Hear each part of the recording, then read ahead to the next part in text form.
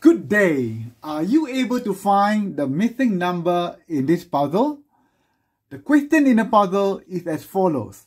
If 3 star 1 equals to 3, 4, 2, 4 star 2 equals to 8, 6, 2, 5 star 1 equals to 5, 6, 4, what then is 6 star 3 equals 2?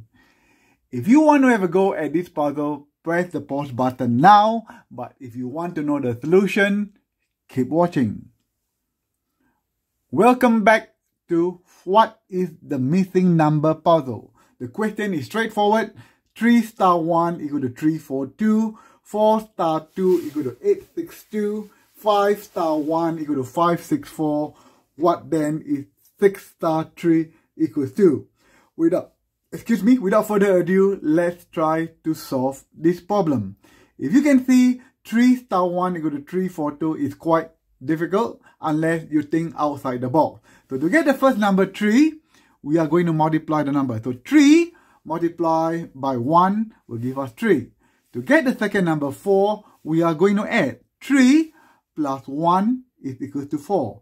And of course, if you can see, to get the last number 2, you actually subtract. So 3 minus 1 is going to give you 2. So the first number you multiply, the second number you add, and the third number you subtract. So similarly, for the second row, 4 multiplied by 2 will give us 8. 4 plus 2 give us 6. And then 4 minus 2 will give us 2. And this will proceed to the third row.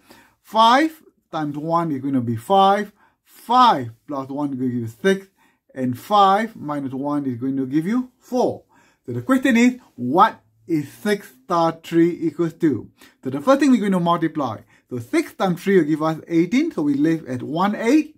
And then we're going to add 6 plus 3 is going to be 9.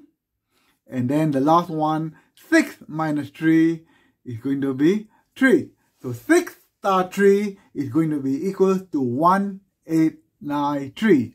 So I believe most of you will get it right because you guys are geniuses and have a good weekend everyone. See you soon.